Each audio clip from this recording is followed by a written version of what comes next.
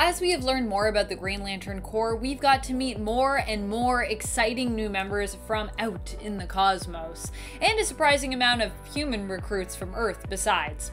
Welcome back, Nerd Squad. Today we'll be getting to know some of these Green Lanterns and what they are capable of a bit better as we count down the top 10 most powerful Green Lanterns. Let's get counting. Number 10, Simon Baz. Simon Baz is one of the newer Green Lanterns, though that feels a little bit weird to say now, as he was first introduced in 2012, and we've definitely had quite a few new ones pop up since then.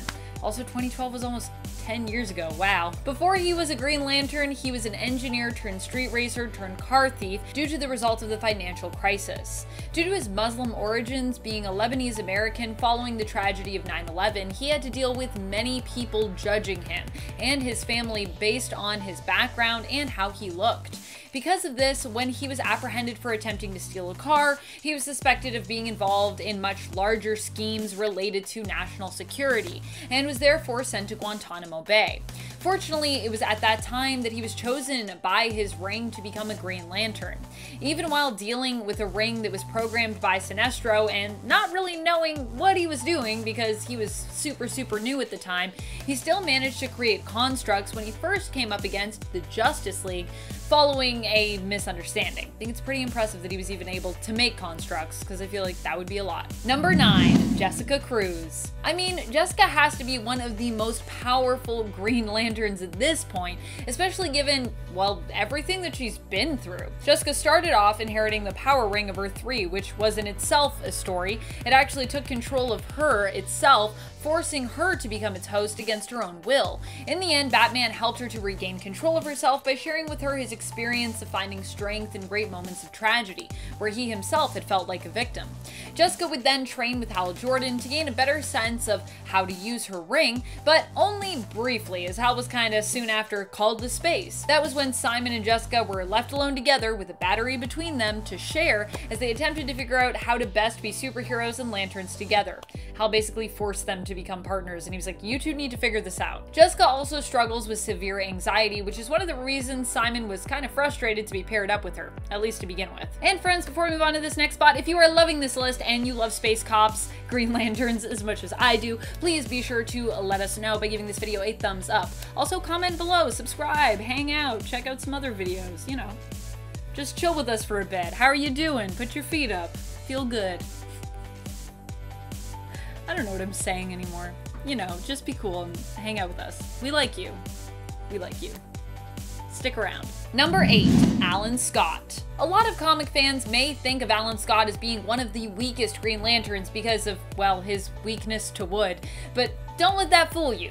Although his weakness to wood is pretty silly, Alan Scott is still an extremely powerful and unique Green Lantern. He was the first Green Lantern and has since had himself more separated from the general Space Cops Green Lantern Corps in terms of how he operates and how his powers work. I mean, initially when he was introduced with Earth 2, Alan Scott, he wasn't even really connected to the Green Lantern Corps. Because back then, we didn't have to do origin stories and really make everything make sense, but here we are now. Alan Scott's powers actually come from a magical entity that was once the prisoner of the Guardians of the Universe, known as the Starheart. At least we're going with the New Earth story, which here we're going with the New Earth story because I like it the best. The Starheart ended up on Earth and saved Alan's life. He wore the entity like a ring, which for many years was the source of his power, and adopted the mantle Green Lantern. Alan has also managed since then to merge with his own battery that he fashioned out of the Starheart. Basically, he fashioned a battery and a ring out of it. In merging with his battery, though, he became even more powerful as he became the power source for his own ring which is pretty cool. You gotta respect Alan Scott. That's what I think. Number seven, Kilowog. Kilowog is the main recruiter for the Green Lanterns and is also their head trainer. He pretty much trains all of the new recruits and with good reason, as he's a very powerful and capable Green Lantern. Kilowog is so powerful that back in the New Earth continuity when his homeworld Bolovax Vik was first destroyed and he was on it, although his ring only instinctively protected him, he actually used his willpower and his ring to capture the billions of life energies of the citizens on his homeworld, storing them within his ring until he could find a new and safe world to release them on. Unfortunately, his homeworld and family would still later be destroyed by Sinestro even after he saved them, but it was still an impressive feat for him to have saved them all the first time around. But it's very sad that they all died anyways. That sucks. Kilowog has a sad story, friends. It's sad. Number six, Sinestro. Sinestro, before Hal Jordan showed up, was celebrated as the most powerful of all the Green Lanterns. That is, of course, until Hal exposed him as the villain he truly was. Despite the fact that Sinestro is now considered a villain and is the head of his own corps, the Yellow Lantern based Sinestro Corps, he also deserves respect for just how crazy powerful he is and was as a Green Lantern. There is a reason that fellow Lanterns considered him to be the best. I mean, he even had to go back to being a Green Lantern for a time because he was so skilled and the Guardians needed him. Even though at that point he was already a leader of the Sinestro Corps and he was very happy as such. He was like, I don't really want to go back to being a Green Lantern. And they're like, well, we're the Guardians of the Universe. You have no choice. Also, every time I say Guardians of the Universe, I've been wanting to say Guardians of the Galaxy today. Obviously, I need more Guardians of the Galaxy in my life. I'm not sure what's happening to me. Hopefully I haven't, and I won't, say Guardians of the Galaxy in this video, because that would make no sense. Guardians of the Galaxy are not applicable to Green Lanterns. Not at all. No connection. Totally different publishers. Number 5. Jo Mullein. Jo probably has some of the greatest potential of all the Green Lanterns we have ever met. She was given a very special kind of ring, one that doesn't actually need a battery but can self-charge on its own. Of course, its charging is slow going, and Jo isn't a master of it yet, but still, it's very impressive. It's like, we're talking like Alan Scott coolness. In Future State, we got to see a glimpse into Jo's possible future where she is a member of the Justice League and also becomes proclaimed as the greatest detective in the entire universe, which is pretty huge. Jo might not be there yet, but she shows so much promise in terms of what she can accomplish with her willpower, even just from what we've seen in Far Sector, that I think she deserves this spot, especially considering how powerful she'll likely go on to become. I'm just I'm just saying now, I'm putting my bets down that Jo's gonna be one of the most powerful Green Lanterns of all time. I'm also so ready to see her and Hal Jordan go toe to toe. That is a fight slash team up I cannot wait to read. And if you missed that that clash of things, that was from Future State Green Lantern issue number two. It's the last story in there, and woo!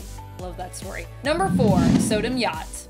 Sodam Yat is a Daxamite, an alien race who is similar in terms of abilities, powers, and physiology to Superman's race, the Kryptonians. So basically, Sodam Yat is like if Superman were a Green Lantern in terms of how much natural power he packs.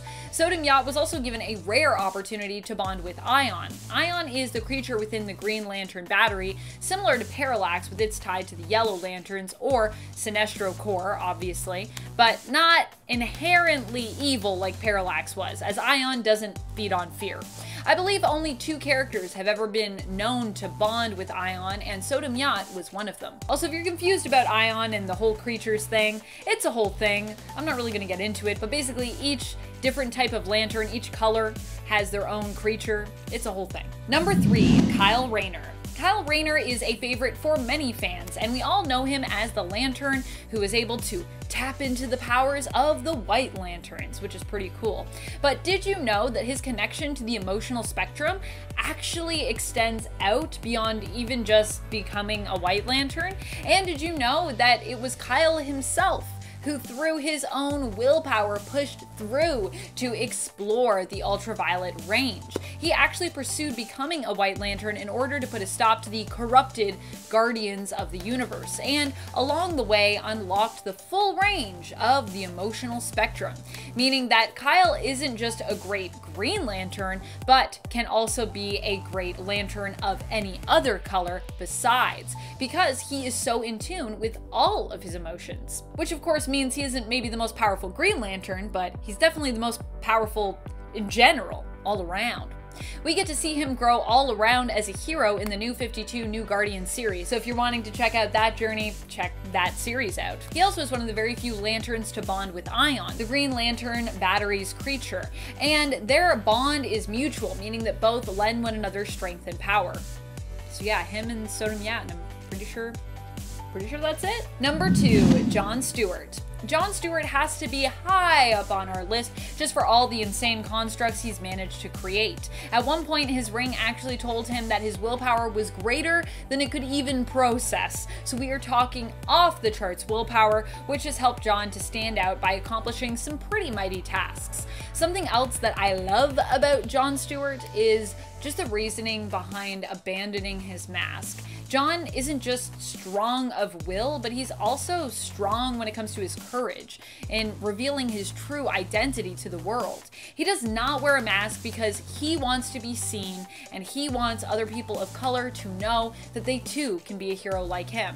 And I love that. Number one, Hal Jordan. There might be some weird stuff going on with Hal right now, but it's pretty much guaranteed that we'll all consider him to be one of the strongest Green Lanterns around for as long as Green Lanterns exist in comics. When it comes to Hal Jordan, the thing that makes him stand out above all others is his willpower, which is, you know, kind of the main thing you need as a Green Lantern. One time after he died, his willpower was so strong, he managed to resurrect himself. You know you are crazy powerful when you can just like will yourself back to life. That is some Jean Grey levels of power. And even though he was possessed by Parallax at the time, it was still Hal who was responsible for destroying the central battery on Oa and for killing the entire Corps, which is obviously awful. It's I'm not saying it's a good thing, but still, it's a really insane and kind of impressive feat. I think. That's crazy. Hal just was like, boom, you're all gone. Woo! What are some of your favorite Green Lantern Corps members? Who do you think are some of the most powerful recruits? Are there any old lanterns that you would like to see brought back? Or any ideas for new lanterns you'd like to see introduced? Let us know in the comments below. Also, much, much love to all of our Guy Gardner fans out there. Hopefully we get to do a part two because that is another powerful Green Lantern I'd love to talk about, among others that have been unmentioned here. So yes, Guy Gardner fans, I see you, I hear you. I want to also celebrate Guy Gardner. I just, I didn't have enough spots. so hard sometimes when I have only 10 spots and I'm like, oh, there's definitely more than 10 people that deserve to be on this list. But that's alright, we'll save Guy Gardner for another time. This has been Top 10 Nerd, and I am your host, Amanda McKnight, saying thank you so, so much for watching, and reminding you, as always, to stay nerdy, YouTube.